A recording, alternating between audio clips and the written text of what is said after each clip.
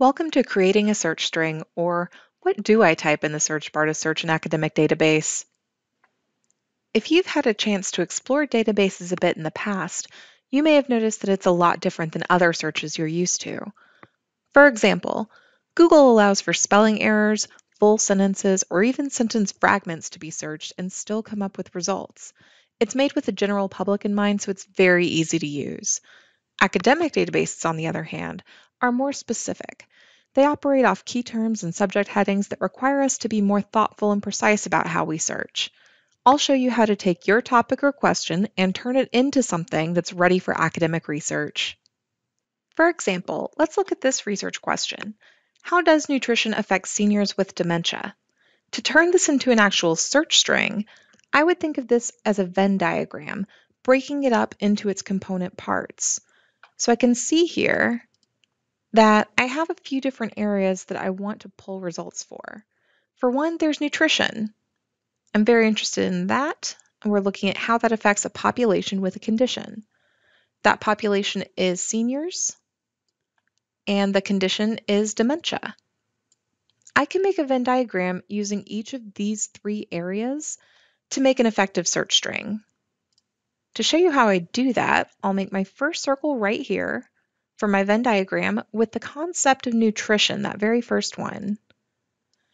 I know that there's other terms that could be used for this, so I know that I want to put nutrition here, this first word that I thought of, but maybe I also want to add diet. Any other terms that I could think of that would be related to or a synonym of nutrition, I would want to put in here as something else that's related and that I would be interested in pulling from our search. Now, our second area for that population is seniors. So when I add the circle onto my Venn diagram for that concept, I'll start adding on that word and other synonyms. That means in addition to seniors, I might be thinking of the elderly, the aged, or even geriatric. Any of those concepts is going to bring up that idea that I want the database to find for me for that particular population. Now, the last one, dementia, I'll continue with my third circle down here, putting in the term dementia, but also other terms like mental decline or something more specific like Alzheimer's. as we're connecting all of these areas, we're going to be connecting it in the search string like this. The database will understand as we add on concepts, we're asking it to be more specific and more narrow about what it's pulling up for us. We want it to find the information it has about nutrition and diet, but we want to see specifically the nutrition and diet items that are about seniors. And of those, we want to see the ones that also discuss dementia or mental decline.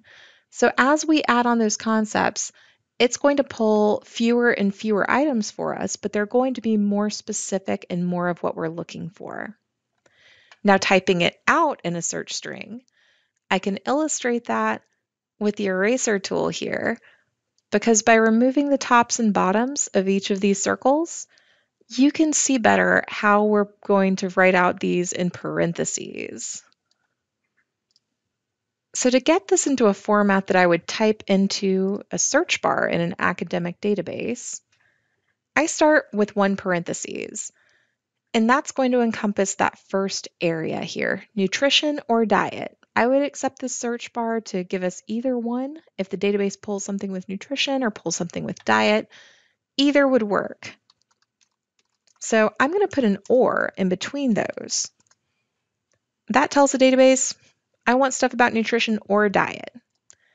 Now, to add on the next item about that population of seniors, I want this and that. So I put an and. Then I continue with my next parentheses to include seniors or elderly or aged or geriatric. Again, in parentheses, that's one concept bubble here. But I'm telling the database I want this concept bubble and that concept bubble. And the third one, adding on dementia, mental decline, or Alzheimer's.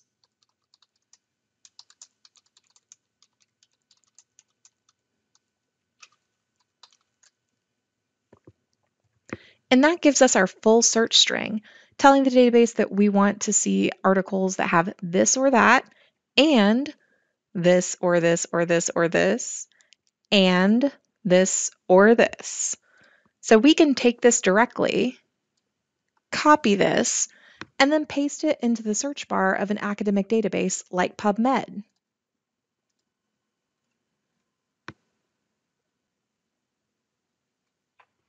And that gives us a result list of items that we're interested in.